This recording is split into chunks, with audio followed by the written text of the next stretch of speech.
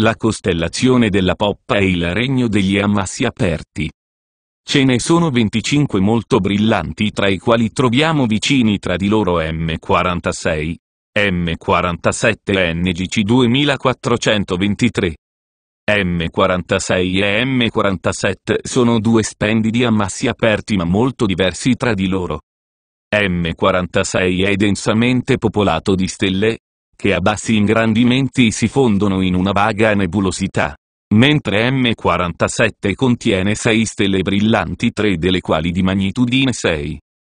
Il terzo ammasso del gruppo NGC 2423 è più piccolo dei due precedenti ed è invisibile al binocolo.